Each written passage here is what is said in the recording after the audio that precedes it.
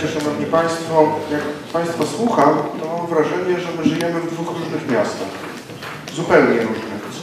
Pan ma swoje narzędzia kontroli, tymczasem ja w sobotę idąc spacerem, jak Pan pewnie wie, ostatnio więcej chodzę, idę, idę sobie spacerem, patrzę Sikorskiego. Sikorskiego piach z zimy. Mam zdjęcia. Tak jak długa, od Wybickiego? Tak.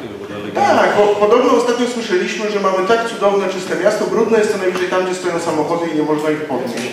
No na Sikorskiego, z prawej strony, schodząc w dół, no nie stoją żadne samochody i przy krawężniku e, jest mnóstwo, mnóstwo brudu, naprawdę piachu, tyle. Mam zdjęcia, mogę pokazać, zresztą mam taką propozycję dla mieszkańców, że jeżeli ktoś będzie chodził w mieście i zobaczy tak dobrze utrzymane drogi, to żeby zrobił zdjęcie i wysłał panu prezydentowi, bo pan prezydent ma narzędzia kontroli, ale one są chyba oderwane od rzeczywistości. Ja mam w związku z tym taką Ja bym propozycję. bardzo prosił do punktu, panie radny. Dobrze To, to mówię. jest do punktu, bo my mówimy o tym, że tak naprawdę uważam, że inne podmioty normalnie w postępowaniu przetargowym, to na co zwrócili inni radni, to nie ma sensu się powtarzać, to byłoby zdecydowanie lepsze rozwiązanie. Chcemy wnieść to do MZK i ja uważam, że to nie jest dobre rozwiązanie i, i tyle.